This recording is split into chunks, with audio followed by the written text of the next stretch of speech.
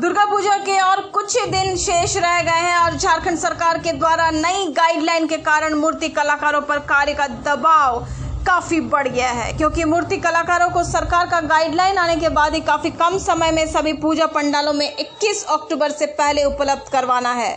दुर्गा पूजा के लिए मूर्तियों का सेट, जिसमें देवी, दुर्गा के अलावा लक्ष्मी, सरस्वती, कार्तिक, गणेश, महिषासुर के मूर्तियाँ बनाने में लगभग पाँच छः महीना लगते हैं और सरकार के नई गाइडलाइन आने के बाद मूर्ति कलाकारों को उसी मूर्ति को बनाने के लिए लगभग 20 दिन मिला है, जिसके कारण मूर्ति कलाकार दिन रात मूर्तियाँ बनाने में लगे हुए हैं। समस्या तो इस बार बहुत है। देखिए, इस बार जैसे कि टाइम भी कम है और ऊपर से सरकार का गाइडलाइन भी एकदम नाइनटीन आवर में आया है, ठीक है इलेवेंथ आवर में आया है।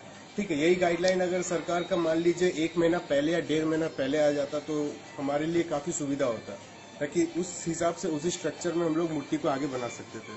लेकिन गाइडलाइन जैसे आप देख सकते हैं पूजा का जस्ट पंद्रह दिन पहले आया अब पंद्रह दिन में तो मूर्ति बनता नहीं है।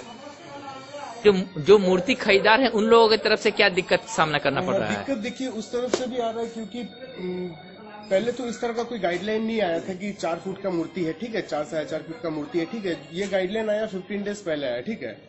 तो यही गाइडलाइन अगर एक महीना पहले आ जाता, जो कस्टमर्स है, ठीक है? उन लोगों को भी समझने में सुविधा हो जाता कि चलिए हमें इसकी गाइडलाइन के, इसी गाइडलाइन के द्वारा हमें आगे बढ़ना है, ठीक है? तो कस्टमर से कस्टमर्स को भी समझने में दिक्कत हुआ और कस्टमर के थ्रू जो ऑर्डर्स आता है, हमें भी मतलब थोड़ा सा मिसअंडरस्टैंडिंग हुआ उसके लिए, लेकिन अभी हम लोग जैसे आप देखिए, आप देख रहे जैसे अभी इलेवेंथ आवर है तो हम लोग इधर अभी twenty four into seven work कर रहे हैं। जैसे हम लोग रात दिन एक करके वर्क कर रहे हैं, ठीक है?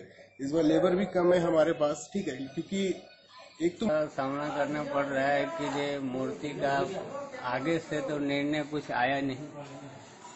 इसके बाद जब भी सरकार की तरफ़ से आया गाइडलाइन का ये तो बहुत समय मैंने बहुत समय काम हम लोग का मिल रहा है।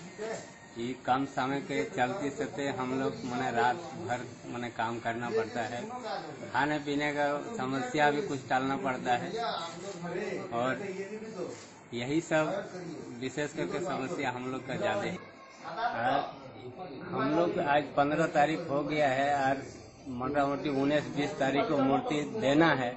लेकिन इस कैसे हम लोग देंगे यही समस्या हम लोग ये कर रहे हैं कि जी मैंने रात दिन खट के मैंने देना पड़ रहा है हम लोग को।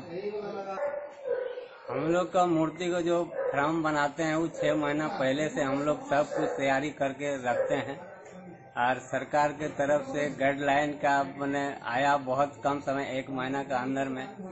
इस हालत से लेकर के हम लोग का बहुत समस्या झेलना पड़ रहा है। और हाँ, हमारा नाम रामू हमारा नाम है रामू मंडल।